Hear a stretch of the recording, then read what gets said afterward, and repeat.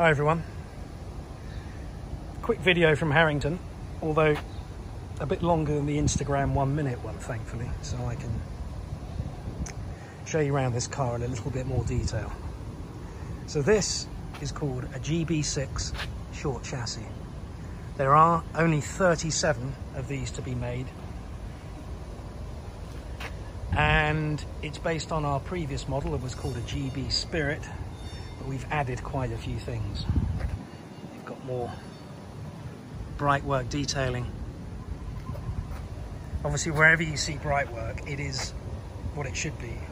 Metal, in this case, it's stainless steel. We don't use composites or plastics to replicate bright work. I'll take you to the interior. Up, um, we've got leather, full carpets, floor mats, and working dials. Completely redesigned this interior. Also added leather and not working, but they look lovely. Heat vents.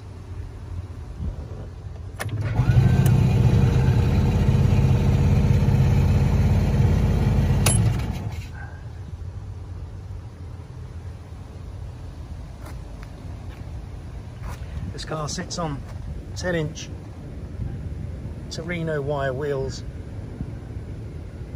and we've been doing this a long time and 10 inches is the right size wheel for a 50% scale car approximately obviously.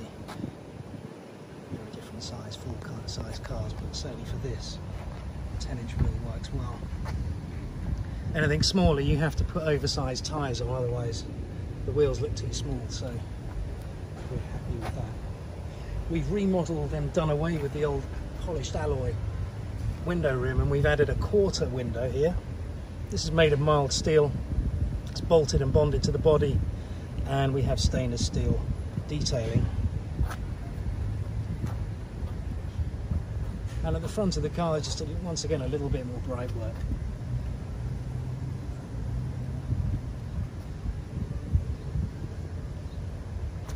So 125cc, three speed, one reverse.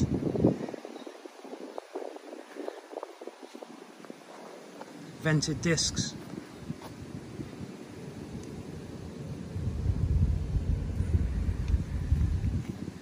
It'll top speed's about 45 kilometers. You can restrict them, and if you're a bit light, you can go a bit faster.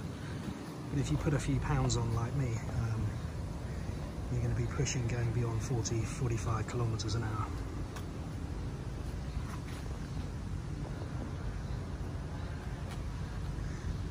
I mean, we've been making this model for close to eight years and it's sort of coming towards the end of its cycle because we've introduced things like this over here, this 300 SL, and also this fantastic Land Junior. This is a petrol one. So with this car, we just want to add to it and it's priced sensibly. It'll be between 14 and 19,000 pounds, depending on what spec. Our wire hubs would save a bit of money, but I think for this car, you've got to have the proper wire wheels. Um, leather or vinyl, leather's favourite, favoured, but vinyl can be regarded as harder wearing, but it depends what you're going to use it for.